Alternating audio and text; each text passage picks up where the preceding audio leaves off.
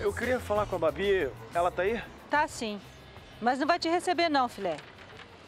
Ela não quer te ver nem pintado. E não é pra menos, né? Poxa, você não foi legal com a minha filha, hein? É justamente por isso eu queria me desculpar com a Babi. Outra hora, filé. Deixa essa fofoca pela cidade acalmar, tá? Olha lá. As futriqueiras de plantão se mancarem. Aí você passa aqui. Eu vou fazer tudo pra ela te receber, tá? Valeu, dona Laura. Obrigadão mesmo. Valeu. O que foi? Nunca me viram, não? Moleque safado! Você fez muito bem de não deixar aquele cretino entrar.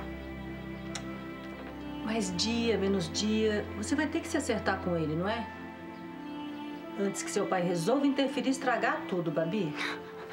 Vai estragar o quê, mãe? Eu não quero mais ver o filé nem pintado na minha frente, tá? Mas é muita cara de pau dele vir até aqui, né não? Como pode ser tão cínico, meu Deus?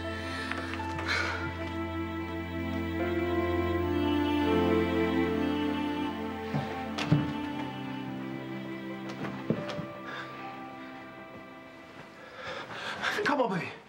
Calma. Eu vim só pra conversar com você. Eu sei que você tá com raiva de mim, mas... Eu preciso te dizer uma coisa. Me desculpa.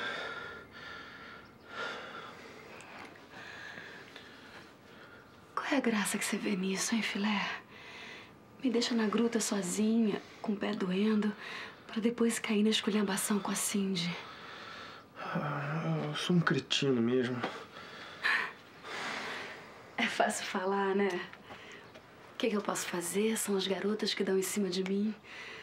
O que, que eu posso fazer, né, Babi? São elas que me atiçam.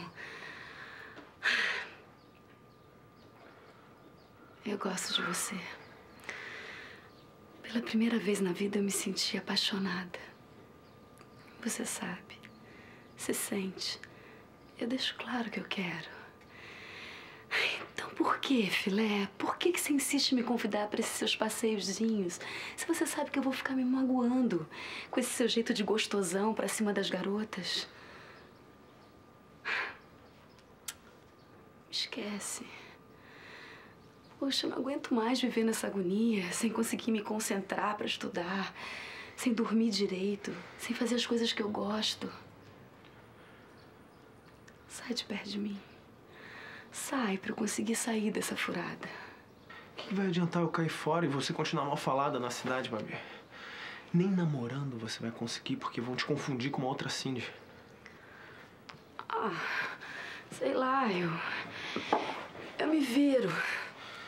Daqui a pouco todo mundo esquece essa fofocada toda. Não vai ser assim tão fácil. Você pode ficar marcada por muito tempo, Babi. É como meu pai diz. Se você não pode com o inimigo, junte-se a ele. O que, que você tá querendo dizer com isso? O que a gente tem que dar pra esse povinho fofoqueiro o que eles querem? Não tem outra saída, Babi. A gente vai ter que fingir que tá namorando.